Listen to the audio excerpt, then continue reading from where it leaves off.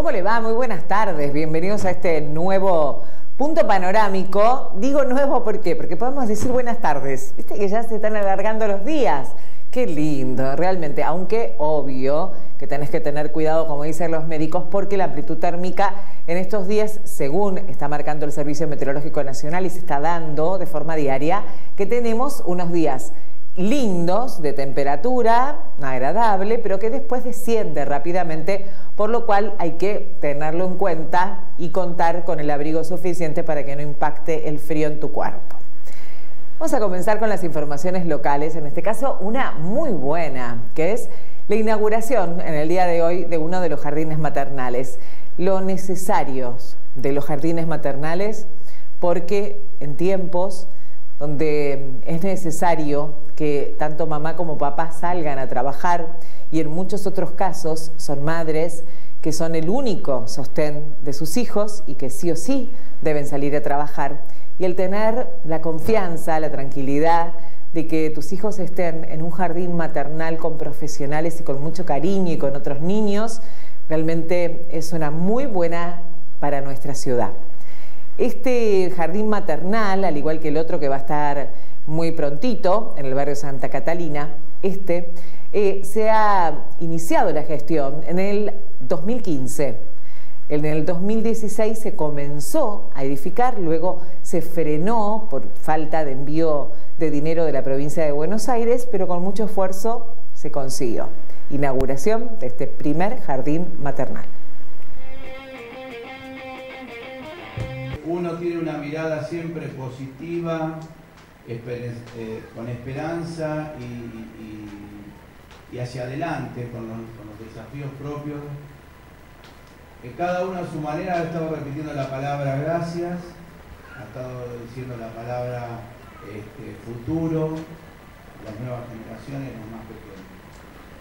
Y entonces, por un lado, eh, desearle el mejor de los éxitos a lo que hoy acá comienza, que es el futuro y que es el presente ya del país. Más allá de los actores, de quiénes son, estos peques de niños que están acá, los peques, este, van a ser los docentes, constructores, periodistas, intendentes, concejales, funcionarios, en no muchos años, 15, 20 años, ya van a estar ocupando esos roles. Creemos, creo y estoy convencido de que todos tenemos que estar satisfechos de que habremos aportado nuestro granito de arena para que esas futuras generaciones que serán hijos o hijos del corazón de cada uno de nosotros, porque terminan siendo hijos de la comunidad, puedan tener su mejor oportunidad de adquirir saberes, conocimientos, la sociabilidad lógica para poder seguramente, mejor que lo que hicimos nosotros, hacer mejores acciones, mejores gestiones, cada uno en su rol. Ya en eso es un gracias inmenso y una felicitación enorme. Pero acá también hay papá, abuelos, periodistas, vecinos que están escuchando. Y quiero rescatar otra cuestión que los chicos no escuchan y si escuchan no lo van a entender, pero ustedes sí. Creo que esto es la demostración fehaciente de que cuando entre todos nos ponemos de acuerdo en cuestiones sencillas, simples, hasta elementales, pero que son fundamentales para una sociedad, podemos, este, lo podemos realizar. Y no son palabras huecas, son hechos concretos. Hoy estamos acá, no estamos haciendo el acto en la plaza, no estamos haciendo un acto con las nuevas tecnologías NET, que son muy lindas para comunicarnos, pero que no tocamos, no escuchamos al chico, no olemos y el chico gritó, se sí, eh, estamos viviendo la vida, la realidad, y eso lo estamos logrando entre todos. Gisela Ocampo, la directora. Hola, ¿qué tal? Hola, buenos días. Queríamos agradecerles por acercarse a la inauguración oficial del Jardín Maternal. Contanos un poco que, cómo es la experiencia de participar primera vez como directora y demás aquí en el jardín. Sí, sí, es, es una responsabilidad muy grande, pero la verdad que las compañeras es un grupo muy lindo somos nuevas todos acá, así que nos adaptamos muy rápido y los niños también se adaptaron muy bien. ¿Cómo es proyecto de traer un jardín aquí al barrio, ¿no? Acercárselo a los chicos y chicas que por ahí están más alejados del centro y demás. Sí, sí, los papás están muy contentos porque les facilita mucho, más a los papás que trabajan. Así que no, eh, la verdad que hay mucha demanda y bueno, vamos a ver si el año que viene se hace doble jornada. ¿Cuántas salitas están contando?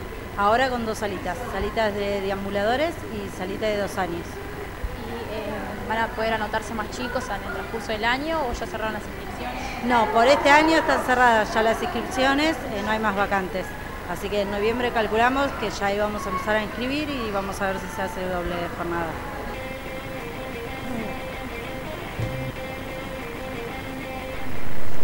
Bien, para repasar entonces, contábamos ya con el jardín maternal que está dentro del SIC del barrio Nuestra Señora de la Paz. Pero este es el primero exclusivamente jardín maternal con 500 metros cuadrados en el Plado y el próximo a inaugurar será en el barrio Santa Catalina. Pasemos a torneos, Buenos Aires, la, torneos Buenos Aires, la provincia, sí, eh, que tuvo un resultado muy interesante para nuestra ciudad. Ayer por la noche retornaron al pueblo más de 200 participantes que fueron a bueno, representar a Marcos Paz. Hablamos con Valeria Pineda para que nos haga un balance de estos juegos. Si tenemos que hacer un, balance, una evaluación realmente exitosa para Marcos Paz, más allá de las 18 medallas que trajimos, vuelvo a decir, nos remontamos a los primeros meses del año, eh, tuvimos una inscripción un poco más agilizada, si bien el sistema es vía online como ustedes ya saben, tuvimos muchos participantes en, todas las, en las dos áreas de cultura y deportes y en cada una de las especialidades, llámese, eh, una etapa digital que se jugó con normalidad. Eh, los profes estuvieron muy bien con las instituciones a las que representaban, todo el mundo. Después en la etapa regional eh, pedimos ser sede de varias disciplinas y por suerte también fue exitoso, no tuvimos ningún inconveniente de más. Pasamos a una final provincial con más de 200 participantes. Eh, los días allá son muy, muy movidos. Eh, no hay descanso para nosotros, por ahí recién Jorge nos preguntaba si fuimos a la playa, no toqué la arena, es más, no traje ni una zapatilla con arena, de, lo mucho que se trabaja, ¿no? Tenemos un equipo que responde, eh, un municipio en realidad que responde. Eh, nos fue muy bien en muchas disciplinas, eh, estuve en casi todas, patín artístico me hizo poner piel de gallina, ahí trajimos tres medallas en la pista, ya sea en atletismo convencional como en el especial, es único y es un mundo estar dentro de la pista. los, los abuelos, ajedrez con Esteban Capellini, los chicos, eh, las chicas de fútbol 7 que, que fue como la revelación, si se quiere, porque ganaron dos partidos, se empataron uno, no clasificaron por algunos goles. Futsal también es tremendamente emocionante, mucha adrenalina en esa cancha y en cada uno de los estadios, en las canchas de tenis, con bochas, con todo. Eh, pero bueno, eh, la, tranquilidad que necesitábamos ayer era llegar a Marcos Paz. Llegamos en un viaje también genial, salimos 3 de la tarde de Mar de Plata, paramos en el Minotauro a, ir al baño, estar un poco más cómodos, tomar algo, merendar. Eh, y llegamos a Marcos Paz 10 de la noche con una plaza repleta de, familias, aplausos, lágrimas, muchas emociones hubo de, si bien por ahí hay familias que están acostumbradas a que los chicos eh, participen, pero el bonaerense tiene ese especial fue la experiencia para estar con los jóvenes No, es genial, por ahí con muchos nos conocemos, con muchos no nos conocemos, pero somos como una gran familia en, los dos hoteles que estuvimos, que nos han atendido en mil maravillas. Eh, eh, no, bien, compartimos meriendas, comidas, un desayuno con uno, una, los chicos de fútbol hicieron una picada, nos invitaron, las chicas de volei también, así que siempre con cada uno de, los, de las disciplinas siempre, más allá de que digo que, el equipo de deporte se encarga de todo lo operativo y lo logístico allá, siempre está lo humano y siempre están las relaciones con los participantes, con los entrenadores, los profes, eh, con las familias, que hubo familias que, que acompañaron y estuvieron allá. Hablando con algunos de los móviles que fueron del sistema que fueron allá a Mar del Plata los bonaerenses, nos comentaba que no solamente era fue una competencia deportiva y demás, sino que también tenía la experiencia los chicos y chicas de eh, dialogar con otros atletas, compartir cosas, o sea, enriquecerse. Tal cual, sí, sí, sociabilizan. Siempre los chicos de, de, de vóley por ahí se cierran en que juegan al vóley, pero los ve jugando al fútbol, las chicas de fútbol jugando al vóley. Eh, el profe Omar Pomeirol hizo una exhibición de bocha que por ahí eh, muchos preguntan qué es, qué hacen. Bueno, hicieron una exhibición en el hotel, eh, se da a conocer todo. Eh, es genial cuando llega un medallista al hotel que casi siempre llega en horario de comedor, cómo explotan eh, de aplausos, de felicitaciones, las caras de, de, los chicos que llegan con su medalla y la felicidad que tienen. Así que siempre tenemos esos plus que, que gratifican y que hace que el cansancio que, que está en el cuerpo desaparezca. Así que eso es, nos llena, nos llena muchísimo.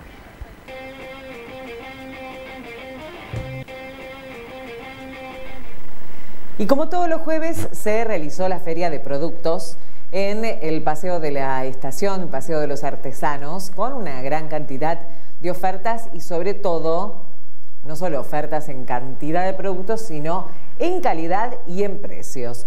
Quien eh, nos dio su palabra es eh, Esteban, que es vendedor de chacinados en todas las ferias. Y tenemos todo tipo de chacinados. Eh, estamos en la feria de martes a viernes. Eh, los jueves estamos acá en la plaza. Sábado y domingo también estamos en la feria de emprendedores, acá mismo, a la tarde.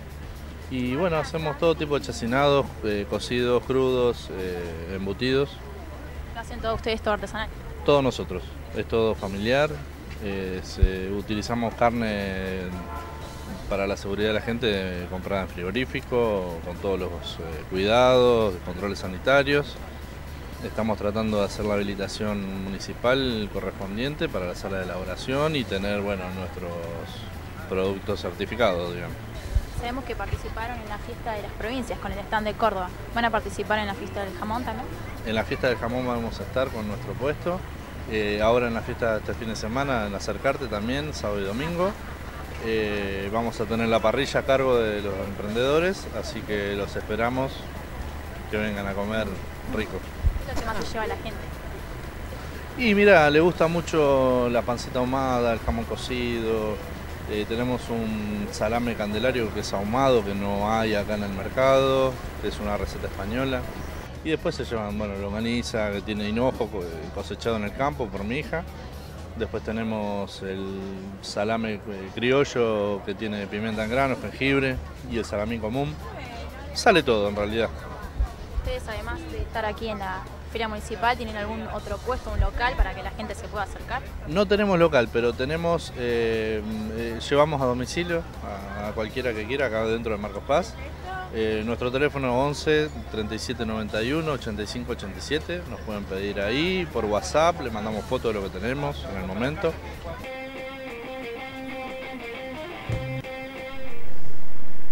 Vos sabés que está haciendo una campaña para conseguir el boleto estudiantil de nivel terciario y universitario.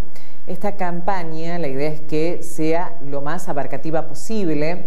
Nosotros hablamos en la mañana con vos, nuestros compañeros de la radio pública, con Cristian Verón, que es uno de los integrantes impulsores también de esta campaña, para darnos detalles de todos los chicos que necesitan unirse para conseguirlo. Bueno, eh, ante todo quiero aclarar que sí. no somos los únicos que estamos sosteniendo esto. Bien. Eh, y que nosotros no nos estamos sentando, digamos, a la asamblea estudiantil como movimiento Evita, uh -huh. sino como estudiantes. Perfecto, vale aclaración. Nosotros somos estudiantes del 29, particularmente uh -huh. yo soy del Instituto 29 de Merlo. Ajá. Hay compañeros del Instituto 44, sí, sí. también de la Cera, del anexo del Instituto 44 que cursan acá en el Nacional, gente del secundario de adultos, sí. de la Escuela Provincia de Catamarca, Sí, sí, gente sí. del FINES, del, del programa Sí. FINES de terminalidad. Sí, sí. Eh, tenemos gente de la izquierda también. Es una, es una asamblea, digamos, con todos los espacios que se vinieron a integrar eh, a nosotros. Tiene que ver por lo que numerás con niveles de educación superior. No te escucho bien. Algo de superior. Sí, niveles de educación superior, te consultaba Victoria. Sí, tal cual, exactamente. La campaña está hecha, digamos, Sí. para eh, justamente tratar de cubrir lo que es el boleto terciario y secundario de adultos, que Bien. son boletos que no, digamos, no están en este momento, digamos, disponibles para la gente de Marcos Paz, para los- las personas de Marcos Paz. Sí, sí.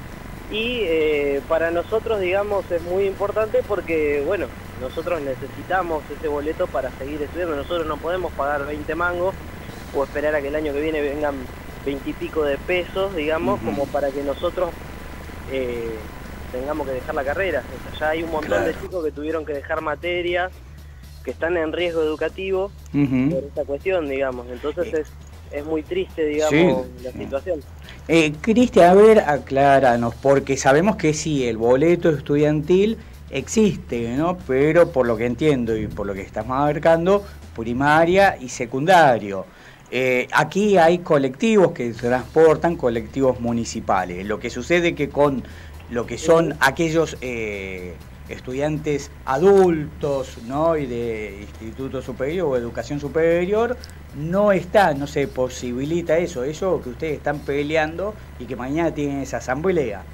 Exactamente, nosotros esta es la segunda asamblea que sostenemos, Bien. la primera tuvo bastante repercusión, Sí, eh, sí. por suerte.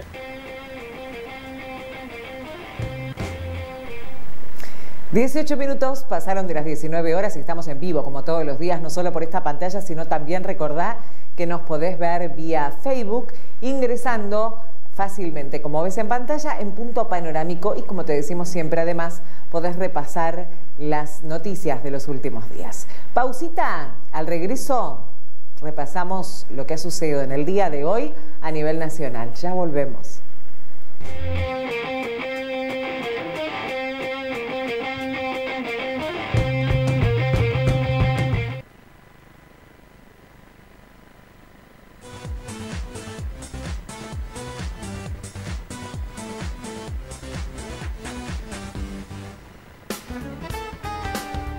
Font se renueva para vos. Vení a disfrutar del auténtico sabor de nuestra oferta gastronómica. Deleitate del mejor café de granos recién molidos, acompañado por una excelente repostería artesanal. Te brindamos la mejor atención. Estamos en Independencia y Avellaneda, Marcos Paz, La Font. Librería y Regalería El Faro, Sarmiento 1729. Librería Cristiana, libros, Biblias, regalos. Librería y Regalería El Faro.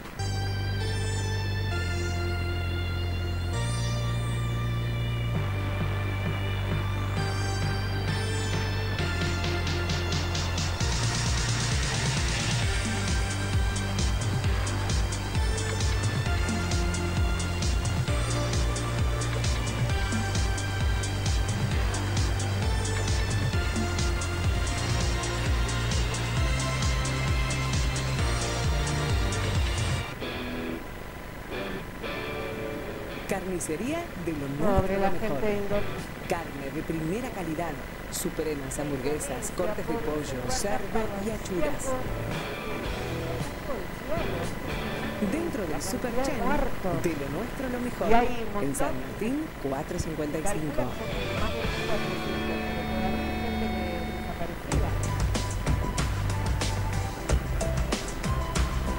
Ese A partir del 11 de abril tener la posibilidad de disfrutar de los beneficios de la biodanza. Es un sistema de renovación orgánico a través de la música, el movimiento, el encuentro en grupos y la emoción. Nos libera del estrés, aumenta la autoestima y el sistema inmunológico. Armoniza y sana los vínculos. Aumenta las ganas de vivir. La primera clase es gratuita. Todos los miércoles a las 18 horas en el Cine Teatro Roma.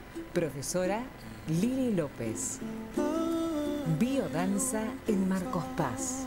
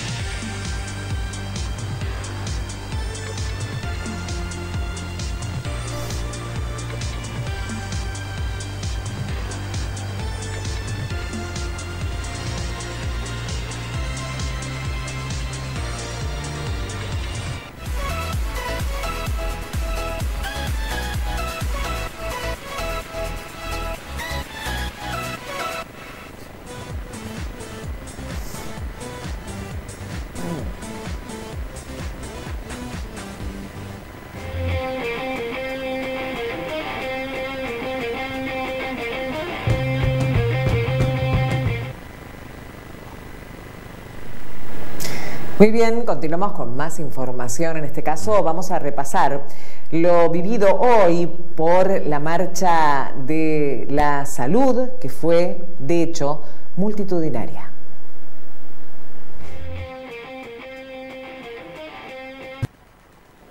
Convocada por diversos gremios y federaciones de la salud, concentraron a las 13 horas en el actual Ministerio de Obras Públicas, citó en Moreno y 9 de julio. Contó con una importante participación de trabajadores del Hospital Posadas. Se sumaron los mineros de Río Turbio. La movilización tuvo como principal objetivo repudiar la eliminación del Ministerio Nacional de Salud, la profundización del ajuste y el desfinanciamiento del área. El documento de convocatoria, firmado por numerosos gremios y organizaciones políticas, sindicales y sociales, se centró en la defensa de la salud, el rechazo a la eliminación del Ministerio de Salud y el rol del Estado de Derecho.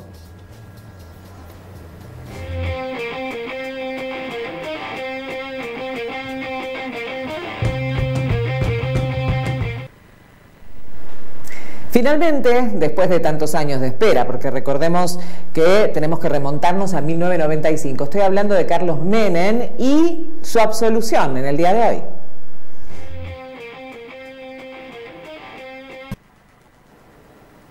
La justicia absolvió a Carlos Menem en el marco de la causa por el tráfico de armas a Ecuador y Croacia. El expediente que se inició en 1995, es decir, que lleva 23 años de recorrido judicial y por el cual el expresidente y actual senador tiene una condena a siete años de prisión. Así lo resolvió la Cámara Federal de Casación Penal, integrada por Liliana Catucci, Carlos Magire y también Eduardo Riggi al considerar que no se cumplió el principio del plazo razonable para arribar a una condena firme y determinar si Menem y otros 10 imputados son culpables o inocentes por el contrabando de 6.500 toneladas de armas.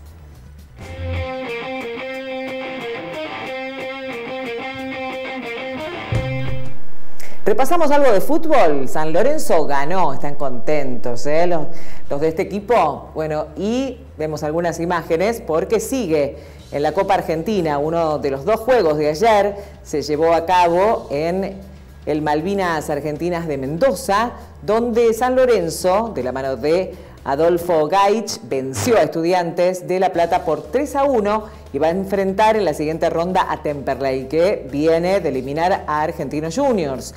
Pablo Mouche, tras un penal que le cometieron al juvenil Gaich, al Ciclón.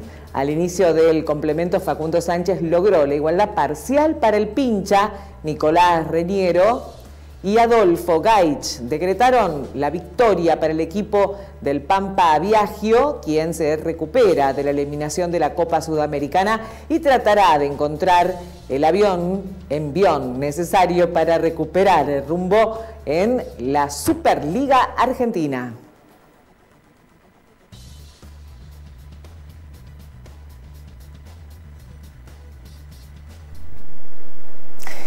Bueno, de una Feliz noticia, nos vamos a Indonesia, donde tristemente nuevamente ha sido golpeado esta parte del mundo por este terremoto que ha dejado tantos muertos y aún muchos desaparecidos.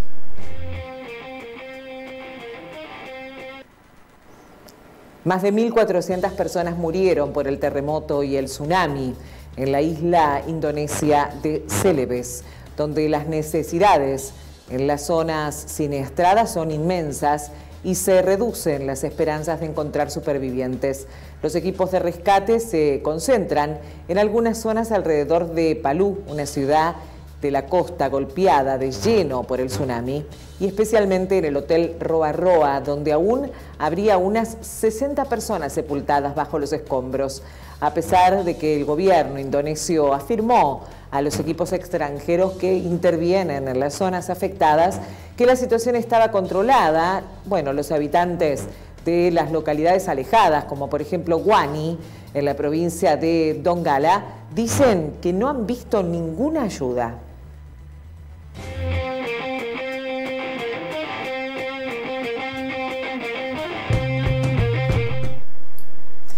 realmente espantoso. Bueno, nuestras esperanzas y nuestro acompañamiento allí a los indonesios.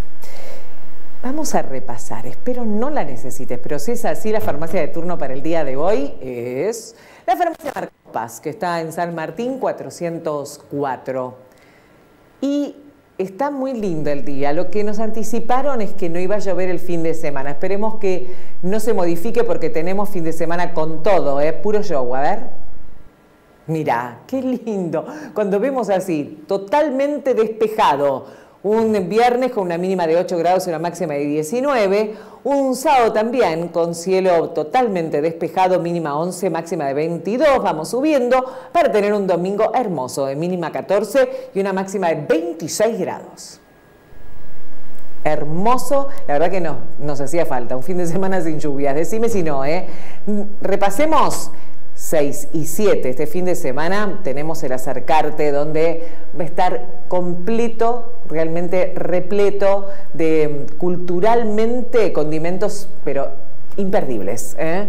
No solo la presencia el sábado a las 20 horas de Mercedes Sosa y el domingo a la misma hora de Drey Maray, sino también va a estar Graciela Borges en teatro, va a haber eh, biblioteca, danzas, de todo. Realmente talleres que no te tenés que perder. A partir de las 3 de la tarde, si no tenés eh, mucha información, entra en la página de Marcos Paz, www.marcospaz.gov.ar o también directamente si googleás y pones acercarte Marcos Paz, te va a llevar directamente a todo el cronograma con sus horarios para que no te quede ninguna duda para ver. Nos reencontramos mañana a las 19 horas con más información como todos los días. Quédate en nuestra pantalla en minutos más. Llega Jorge Aragunde con más información. Gracias y hasta mañana.